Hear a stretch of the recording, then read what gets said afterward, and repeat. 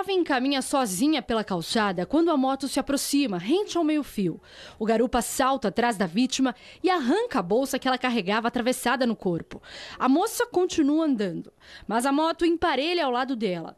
Os bandidos falam alguma coisa. Ela responde. Ladrões e vítima começam a discutir. O garupa abre a bolsa roubada como se fosse pegar alguma coisa. É quando a jovem tenta pegá-la de volta e puxa a bolsa pela alça. Nesse momento, o criminoso que pilota a moto começa a bater na moça, que é agredida no rosto e cai no chão.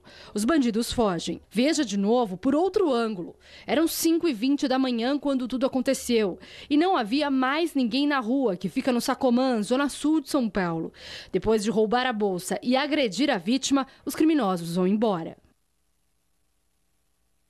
Depois de ser roubada e agredida, a moça procurou a delegacia e registrou um boletim de ocorrência. Por meio das imagens gravadas pelas câmeras de segurança, a polícia conseguiu levantar a placa da moto usada pelos bandidos. Alguns dias depois desse crime, a moto foi localizada ao passar por um radar da Avenida Ricardo Jafé.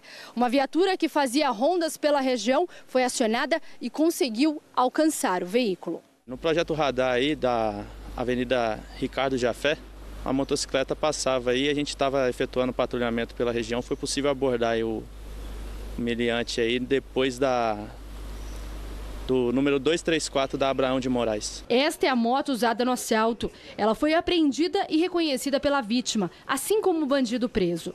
Wagner da Silva Santos era quem pilotava o veículo durante o roubo e também quem agrediu a jovem. Após uma breve entrevista aí na, na abordagem, ele confessou o crime e a gente tinha as imagens também do roubo que ele fez na rua Rafael Ficondo.